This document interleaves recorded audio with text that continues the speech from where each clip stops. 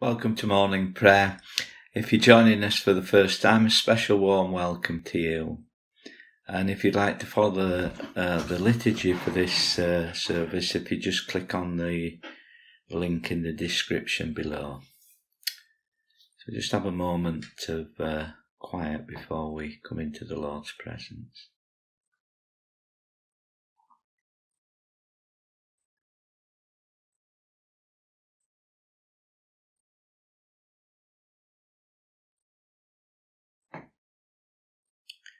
O Lord, open our lips, and our mouth shall proclaim your praise. And a prayer of thanksgiving.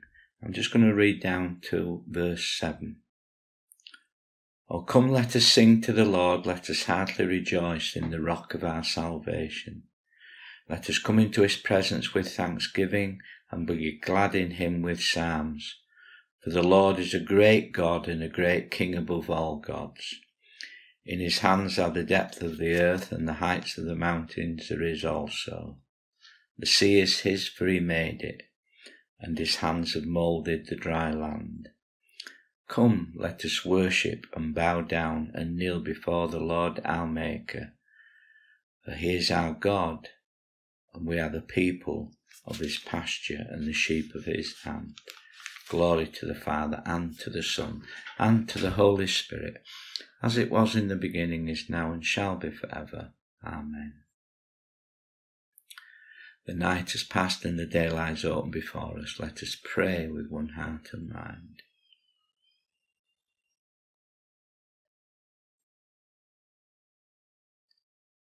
As we rejoice in the gift of this new day, so may the light of your presence, O God, set our hearts on fire with love for you, now and forever. Amen. The psalm today is Psalm 54, and it's put written here, standing tall in times of adversity. And the refrain is, Behold, God is my helper. Save me, O God, by your name, and vindicate me by your power. Hear my prayer, O God, give heed to the words of my mouth. For strangers have risen up against me, and the ruthless seek me after my life. They have not set God before them. Behold, God is my helper. It is the Lord who upholds my life. Behold, God is my helper. May evil rebound on those who lie in wait for me. Destroy them in your faithfulness. An offering of a free heart will I give you, and praise your name, O Lord, for it is gracious. For he has delivered me out of my troubles, and my eye has seen the downfall of my enemies. Behold, God is my helper. O living God, reach through the violence of the proud and the despair of the weak to create in Jesus Christ a people free to praise your holy name now and forever. Amen. The Bible reading is uh, from Acts again, and it's following on uh, from what we've been reading all this week. So it's Acts chapter 2, beginning at verse 37. And if you remember from earlier in the week, this is Peter talking to the Jews uh, in Jerusalem, and uh, it must have been, he must have, you know, spent quite a while talking to them. And really, uh, it begins by saying about Jesus being the, you know, the promised Messiah, and that he died uh, for our sins. He, he was actually pre- preaching the gospel that uh, uh, Jesus had died, was buried, and had risen again on the third day and he had been seen by many people.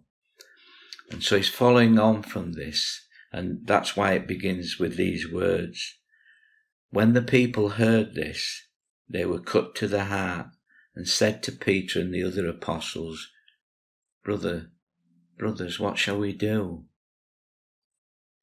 Peter replied, Repent and be baptized, every one of you, in the name of Jesus Christ for the forgiveness of your sins, and you will receive the gift of the Holy Spirit. The promise is for you and your children, for all who are far off, for all whom the Lord our God will call. With many other words, he warned them and he pleaded with them Save yourselves from this corrupt generation. Those who accepted his message were baptized, and about 3,000 were added to their number that day. 3,000. Can you imagine that? He spoke to the crowds, and they were that impacted by what he said. 3,000 were converted to be baptized and to repent. And the fellowship of the believers, this is the early church. They devoted themselves to the apostles' teaching and to the fellowship, to the breaking of bread and to prayer. Everyone was filled with awe, and many wonders and miraculous signs were done by the apostles. All the believers were together and had everything in common. Selling their possessions and goods, they gave to anyone as they had need. Every day they continued to meet together in the temple courts. They broke bread in their homes and ate together with glad and sincere hearts, praising God and enjoying the favour of all the people and the Lord added to their number daily those who were being saved. That wonderful, marvellous. Oh Lord, that it would happen today. Yeah. Anyway, the reflection on that, Brother Samuel. So Peter uh, preached the core message to them They'd repented and believed 3,000 in one day. So this is what uh, Brother Samuel has to say. Peter's proclamation, like any good sermon, doesn't just give those who hear it a warm and comfortable feeling, but raises the question of what to do about it. How true that is, you know. Yeah, What's the appropriate response to the good news of all that God has done in Jesus Christ? Peter's reply is unambiguous repentance, a radical change of life, and baptism in the name of Jesus Christ. That is uh, a sharing in his life, death, and resurrection. No small challenge. The amazing thing is that so many take it up. That was then. That was then. It's sometimes suggested that the picture painted here of this first congregation of believers in Jerusalem is somewhat idolized. Were they really all so full of zeal and enthusiasm? Surely some of them must have dropped out before long. However, whether it's overgilded or not, we are, in these verses, given an example of the basic actions of the life of discipleship. They were together. Following Christ is not an individual pursuit of holiness, but involves sharing the journey with others and caring for those in need. They spent much time together in the temple. Daily praise and prayer are the heartbeat of Christian living.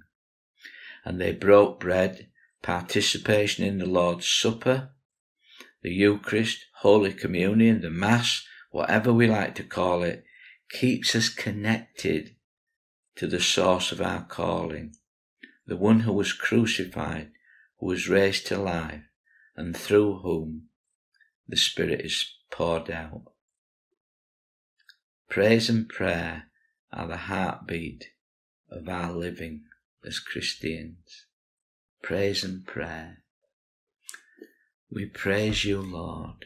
We praise you for who you are, the Alpha and the Omega And we pray to you, Father. Thank you for that. I'm going to say the Gospel Canticle now. Song of Zechariah on the birth of his son uh, John the Baptist, which was a prophecy.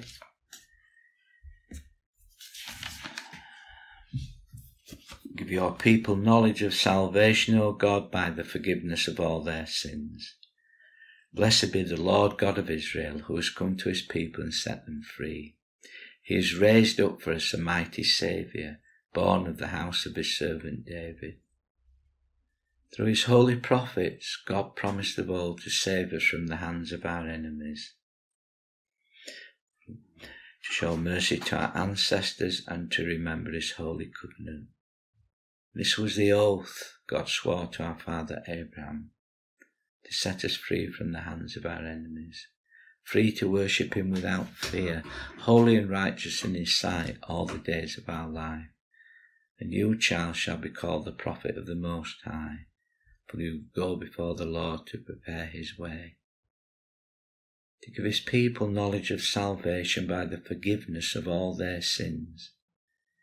And the tender compassion of our God, the dawn from on high, shall break upon us to shine on those who dwell in darkness and the shadow of death, and to guide our feet into the way of peace. Glory to the Father, and to the Son, and to the Holy Spirit, as it was in the beginning, is now, and shall be forever. Amen. Give your people knowledge of salvation, O God, by the forgiveness of all their sins. So we come to our time of prayer. Uh, today I'm not going to read anything or try not to say too much. What I am going to say, I'm going to say to Jesus Christ our Lord.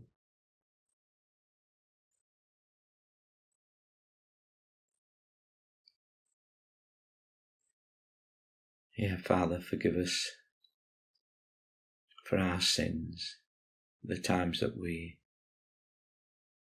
turn away from you, the times we get distracted by the ways of these, this world, Lord. Help us to just have you central to our lives. We know, Father, that if we put our trust in you, we do not need to worry, to be anxious about anything. So help me, Father, help us, Father, to come to you with all our anxieties, our worries, whether it be situations we find ourselves in, or those we love and care for, situations they find themselves in.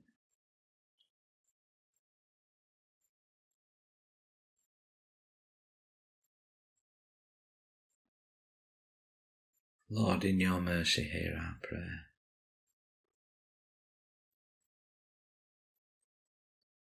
Help us, Father, to remind us by the power of your Holy Spirit that it's not about us, Lord. It's not about us. It's about you.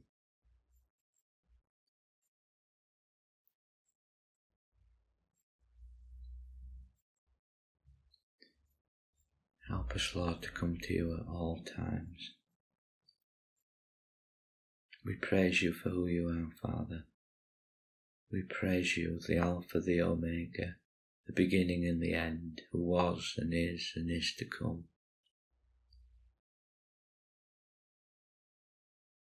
Father God, Lord, in your mercy, hear our prayer.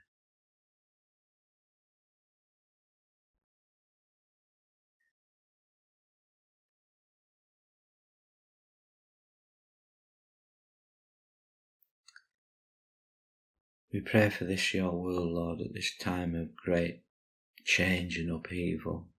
We see it on our television screens, how the world is changing at such a rapid pace, the environment,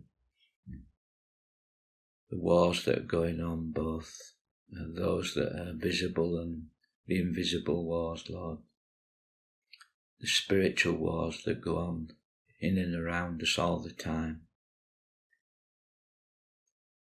Help us, Lord, to just keep focused on you through it all. Help us have that core message of the gospel, that Jesus Christ was alive, died, was buried, on the third day he came again. And he will come again to judge the living and the dead. Lord, have mercy on us all.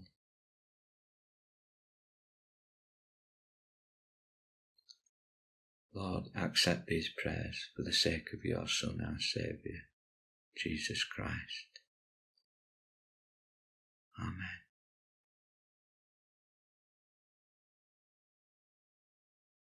And all the people said, Amen.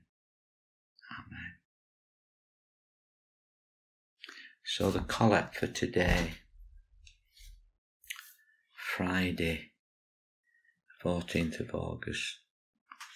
Almighty God, who sent your Holy Spirit to be the light and life of your church, open our hearts to the riches of your grace, that we may bring forth the fruit of the Spirit in love and joy and peace, through Jesus Christ our Lord who is alive and reigns with you in the unity of the Holy Spirit, one God, now and forever. Amen. So we bring all our prayers together and we pray the Lord's Prayer. Our Father in heaven, hallowed be your name. Your kingdom come, your will be done, on earth as it is in heaven. Give us this day our daily bread, Father. Give us our sins as we forgive those who sin against us. And lead us not into temptation. Help us not to be distracted, but deliver us from all evil. For the kingdom, the power, and the glory are yours, forever and ever. Amen.